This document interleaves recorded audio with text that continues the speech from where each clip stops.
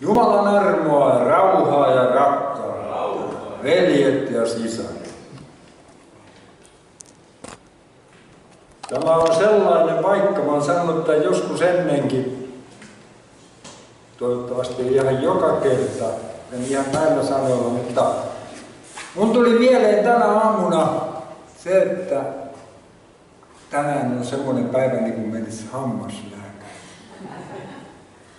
Sitä toivoo, että olisi se vasta viikon tai kahden päästä. Ja sitten kun se valkenee, että se on tänään, niin toivoo, että voiko se olisi pian ohi, olisi taas kotona. Mutta nyt kun mä istuin tuossa, niin mä toivoin, että ei tämä loppuisi, ei tarvisi mennä kotiin. Saisi olla täällä niin kauan, kun kutsutaan taivaan kotiin. Ja tuo Jorma veli rukoili mun puolestani niin kuin meillä tapana on aina, kun minä tulen tähän, niin Jorman virkatehtävä on rukoilla minun puolestani. Ja pyhä henki antoi hänelle sellaiset sanat, että ei voi tulla Jormasta itsestä. Ja nyt kun tämä Helena puhuu tässä niistä pienen pojan eväistä, kaksi kalaa, viisi leipää riitti, ei tarvittu rahaa, ei tarvittu mainetta ja kunnia. Kun Jumala siunasi ne eväät, niin mä mietin tuossa penkissä, että mikä ne mun eväät, mikä oli se pieni eväs, mikä mulla oli. Mulla oli terveet jalat, millä mä pääsin tänne. Mulla Herra suon lukutaidon, että mä voin lukea tätä hänen sanansa. Siinä oli mun eväin. Oppu on Herran käsissä. Ja Tuomisen Markulle sanoi, että usko on hänellä on luja, kun hän tietää, minkälainen sävelkorva mulla on. Eli sitä ei ole lainkaan. Oli kaksi laulukirjaa mun tuolille, että Jusko se osaisi, kun se laulaa kahdesta kirjasta, mutta ei vielä Markku onnistu.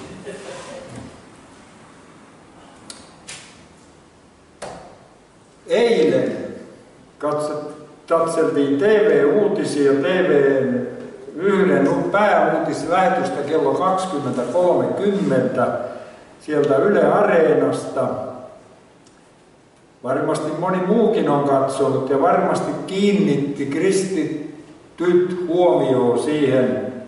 Siellä oli lähetys, osa lähetyksestä käsitteli tämmöistä metallimusiikkitapahtuma. Se oli jotenkin vissiin jotain uudenlaista metallimusiikkia, mitä ulkomailla jo on viljelty ja nyt Suomessa. Ja siinä oli kovasti ihastuneita ihmisiä noin 4000. Ja se oli Viikin saaressa Tampereella. Luon, sitä luonnehditaan luonnon kauniiksi saaraksi. Ja jos joku on luonnon kaunis, niin eh, sehän täytyy silloin olla luontoa. Luonnosta lähtenyt, luotu. Ja kuka sen on luonut? Sen on Jumala luonut senkin saaren. Ja nyt siitä saaresta oli tehty alttari aivan johonkin muuhun. Sen tapahtuman nimi oli Helvetin saari. Se oli Helvetin saari sen tapahtuman nimi. Ja tästä kerrottiin Suomen television pääuutislähetyksessä normaalina uutisena suorastaan vähän hehkuttaen. Ei missään kohtaa kritisoitu sitä. Mutta jos siinä olisi ollut kerrottu jostakin hengellisestä tapahtumasta, vaikka vanha ylivainion kokous, missä hihkulit huutaa hallelujaa, olisi sitä kritisoitu, tuommoista tarvitse näyttää. Varsinkaan nyt, kun me loukkaamme niitä, joille tämä raamattu ei ole pyhä sana. Siinä haastateltiin niitä ihmisiä. Jos ette katsonut, jolla on mahdollisuus, katsokaa sieltä Yle Areenasta se vaatetus nämä meikkaukset, minkälaisia ne oli?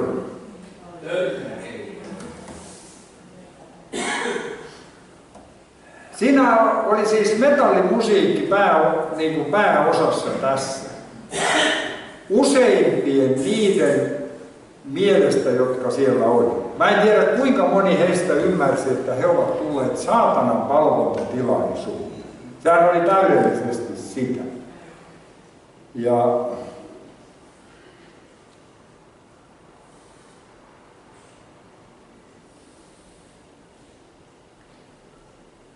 Ja no, en mä tiedä osaanko mä sanoa sitä enempää, muuta kuin se, että ensin se järkytti. Sitten mä ajattelin, että mä muistelin, veli puhui täällä viime sunnuntaina. Veljemme veli koulu. Hän puhui siinä puheensa aluksi maailman ihmisistä,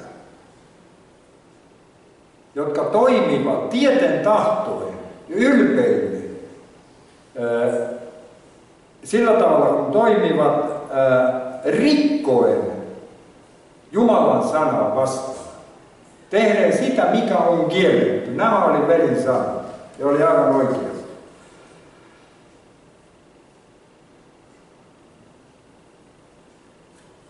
Ja hän sanoi vielä, että tämmöistä, tätä tapahtuu, luopumusta tapahtuu ennen, juuri ennen Jeesuksen Kristuksen paluuta.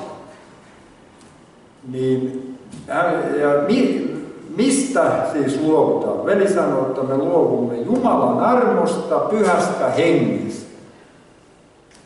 Eikä se ole ainoastaan siis nämä maailman ihmiset, vaan Pyhästä hengestä, kun ihminen luopuu, niin se on uskova ihminen. Ei se, joka ei ole sitä koskaan vastaanottanut, voi luopua siitä.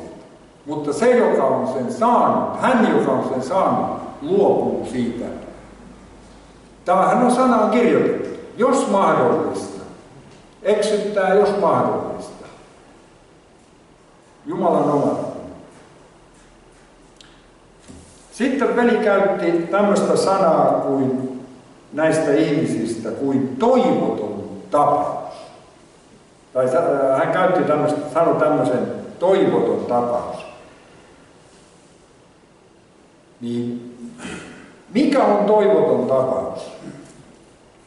Silloin kun me puhutaan tästä ihmisen, yksityisen ihmisen elämästä, toivoton tapaus on esimerkiksi se, että auto ei käynnisty. Nyt tarvitsisi päästä sinne ja sinne. Se on ihan toivoton tapaus. Tästä ei tule mitään. No se on kuitenkin pikkujuttu. Kyllä siihen joku lääke löytyy. Sitten myöhästytään, mennään bussilla ja minä taas henkilökohtaisesti suosittelen ottamaan sitä taksi. Mutta ensimmäinen aikakirja, mä katsoin oikein, että Mistä, mitä täältä löytyy raamatusta sanasta toivo tai toivoton? Ensimmäinen aikakirja 29.15. Siinä mainitaan ensimmäisen kerran. Ensimmäinen aikakirja 29.15. Mehän olemme muukalaisia ja vieraita sinun edessäsi, kuten kaikki isämmekin, ja meidän päivämme maan päällä ovat kuin varjo, ilman toivoa. Sitten Jobin kirjasta. Jobin kirja luku 7 ja 6. Job 7, 6. Päiväni kiitävät nopeammin kuin kutojan sukkula. Ne katoavat vailla toivoa.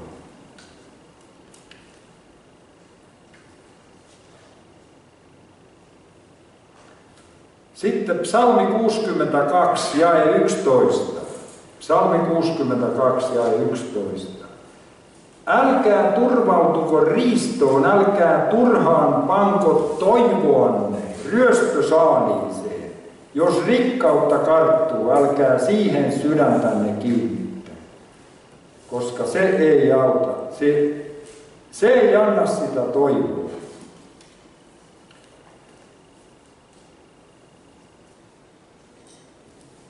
Tämä kun tuolla vanhemmistossa sovittiin, että mä otan tämän vastuun tälle päivälle, niin mä silloin samana iltana, ei ole seuraava päivä, mietin, että rukoin, että Herra, anna mulle sanasi.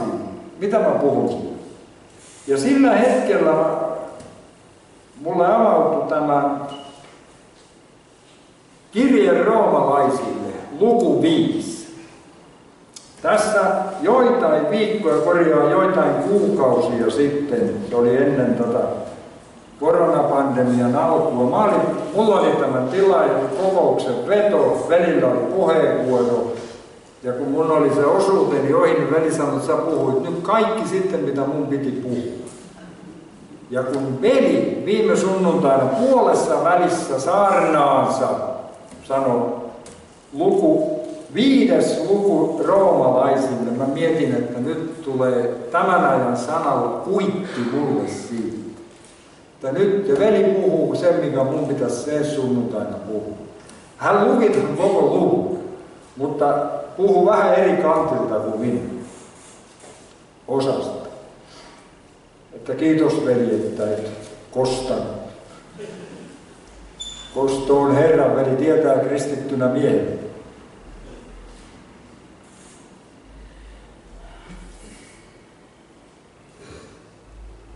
Siis kirja roomalaisille, viides luku. Koska siis olemme tulleet uskosta vanhurskaiksi, meillä on rauha Jumalan kanssa meidän Herramme Jeesuksen Kristuksen kautta.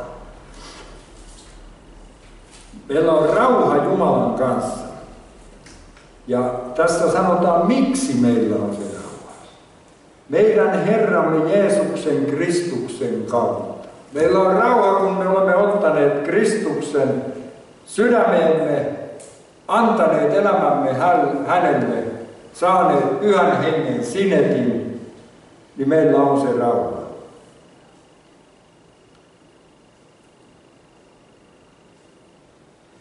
Hänen kauttaan me olemme päässeet uskossa tähän armoon, jossa nyt olemme, ja me kerskaamme Jumalan kirkkauden toivosta. Emmekä ainoastaan siitä, vaan me kerskaamme myös ahdistuksista, tietäen, että ahdistus saa aikaan kärsivällisyyttä. Tässä on, tämä on raamattu kansalle käännös, tässä on käännetty se ahdistuksista, tämä on alaviite, tai ahdistuksissa. Jos nyt kuuntelitte tarkkaan tuon sisaremme Sallan todistusta, niin hän elämässä on siinä tilanteessa ollut ja on, että hän kerskaa niistä ahdistuksista ja ahdistuksista. Kärsivällisyys koetuksen kestämistä ja koetuksen kestäminen toivoa. Mutta toivo ei tuota pettymystä, sillä Jumalan rakkaus on vuodatettu meidän sydämimme pyhän hengen kautta, joka on meille annettu.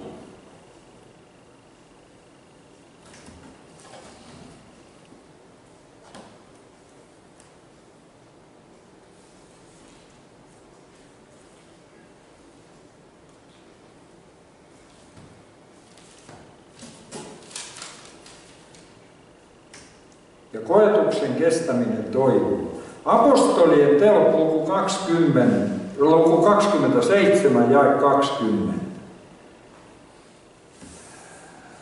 Paavali oli matkalla Roomaan, merimatkalla ja siellä Kreetan tietämillä, kun iski myrsky.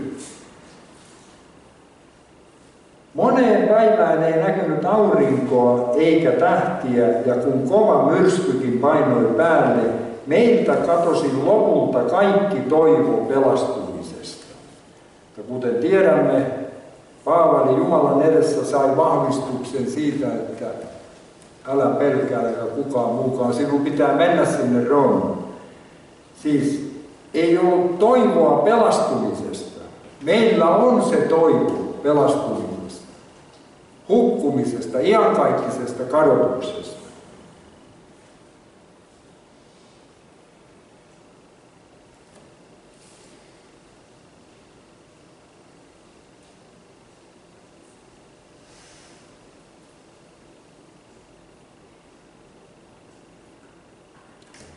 Veli sanoi vielä sun, viime sunnuntaina, varoitti polkemasta lokaan Jeesuksen verta. Tässä jonain iltana mä katselin tuolta YouTubeilta, tämä oli tämä Lauri Late Johansson, puhu, sanoi siinä pyhän hengen pilkasta. Mä muistan, meillä oli vuosia vuosia sitten, kun oltiin vielä siellä alakerrassa, kerrostalon alakerrassa Paasikiven kadulla Parkanossa tämä armoitettu raamatun opettaja Niemelän Lauri puhui pyhähengen pilkasta, että pyhää henkeä ei voi pilkata, joka ei ole sitä saanut. Me, jotka olemme pyhän hengen vastaanottaneet, voimme pilkata. Vaikka me ennen uskoon tuloa, uskoon tuloa tai kuka tahansa tekisi mitä tahansa, se annetaan anteeksi. Mutta pyhän hengen pilkkaa ei anneta anteeksi. Jos me poljemme lokaan Kristuksen veren, me teemme pyhän hengen pilkkaa. Veli puhuu myös siitä, että vaikka me kompastelemme, Pietari kielsi Jeesuksen kolme kertaa. Mutta kun Jeesus ylösnousemuksensa jälkeen tapasi Pietarin, niin hän ei sanallakaan muistutellut Pietaria siitä, jos muistat. Jos ei, joka ei ole viime sunnuntaina ollut täällä eikä ole katsonut tuolta YouTubesta sitä velin viime sunnuntain puhetta, niin katso. Suosittelen lämpimästi. Kaikki uskossa olevat ja uskosta osattomat. Kaikille oli annos ruokaa. Jeesus ei häntä pilkannut, ei moittinut, ei torunut, vaan rakasti.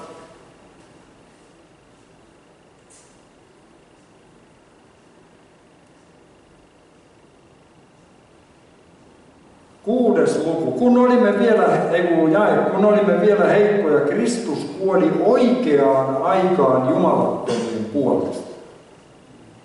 Jumalan aikataulu on aina sekunnilleen oikein. Me pyydämme jotain, anomme jotain, olemme kärsimättömiä, niin kuin Sallo sanoi äsken.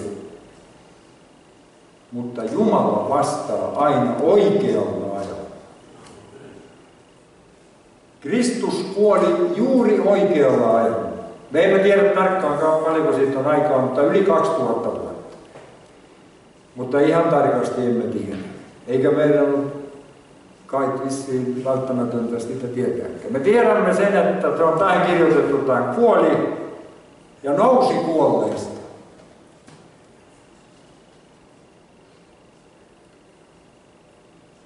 Seitsemäs jae. Tuskin kukaan on valmis kuolemaan jonkun vanhuskaan puolesta, hyvän ihmisen puolesta joku kenties uskaltaa kuolla. Mutta Jumala osoittaa rakkautensa meitä kohtaan siinä, että Kristus kuoli meidän puolestamme, kun me vielä olimme syntisiä. Tuskin kukaan on valmis kuolemaan jonkun vanhuskaan puolesta. Miksi? Siksi, että se on tarpeetonta.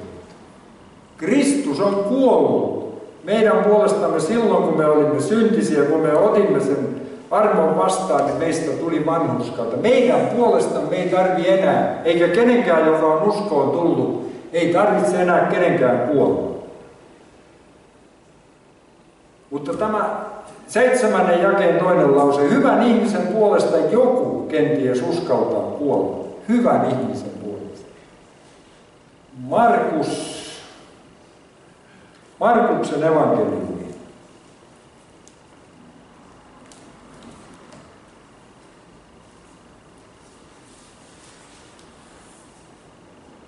Kymmenes luku, jae 18. Jeesus vastasi hänen, Markus 10.18.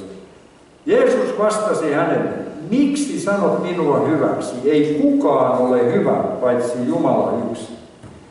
Tämä vapauttaa koko ihmiskunnan kuolemasta, kenenkään puolesta, koska ei ole ketään hyvä.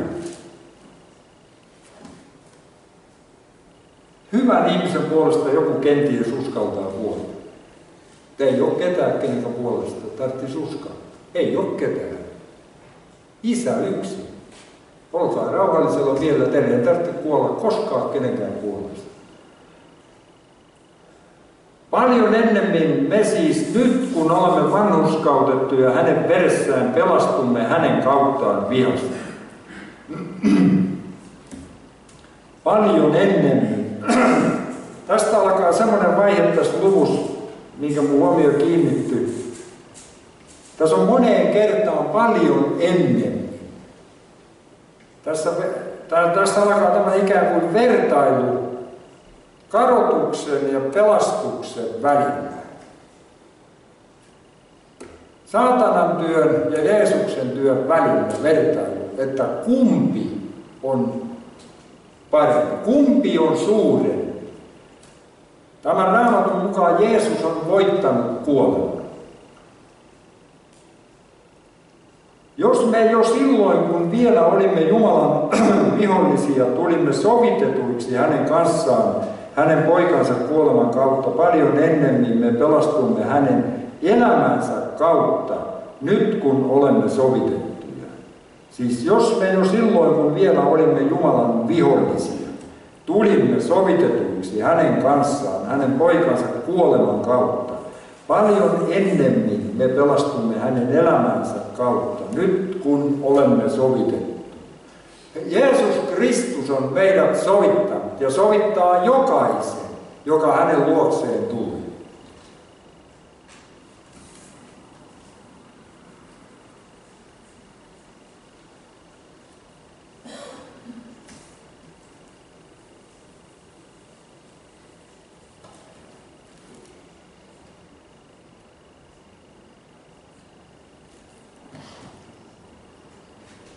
Emmekä ole ainoastaan sovitettuja, vaan me jopa kerskaamme Jumalasta, Herramme Jeesuksen Kristuksen kautta, jonka kautta olemme nyt saaneet sovituksen.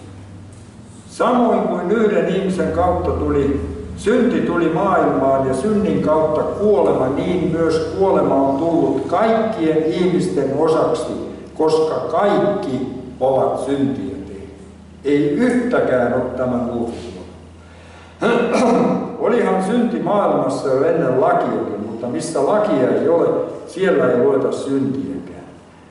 Kuitenkin kuolema hallitsi Aadamista Moosekseen asti myös niitä, jotka eivät olleet tehneet syntiä samalla tavoin kuin Aadam rikkomuksella. Hän oli esikuva siitä, joka oli tuleva. Sitten jäi 15. Rikkomus ei kuitenkaan ole verrattavissa armolahjaan. Armolahja on suurempi kuin rikkomus. Yhden ihmisen rikkomuksen tähden monet ovat tosin, tosin kuolleet, mutta vielä paljon runsaammin ovat, vielä paljon runsaammin ovat Jumalan armo ja lahja tulleet yhden ihmisen, Jeesuksen Kristuksen armosta monien osaksi. Eikä sitä, mikä tuli yhden synnintekijän kautta, voi verrata tähän lahjaan.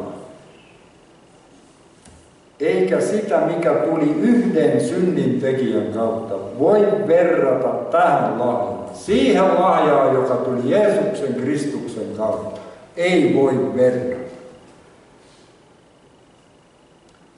Sillä yhden ihmisen rikkomusta seurasi kadotustuomio, mutta armolahja koitui vanhuskautukseksi monista rikkomuksista.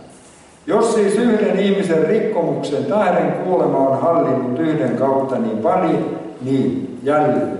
Niin paljon ennemmin ne, jotka saavat armon ja vanhuskauden runsaan lahjan tulevat hallitsemaan elämässä yhden Jeesuksen Kristuksen kautta. Niin kuin siis yhden ihmisen rikkomus on koitunut kaikille ihmisille kadotustuomioksi, niin myös yhden ihmisen vanhuskas teko koituu kaikille ihmisille elämän vanhuskautta.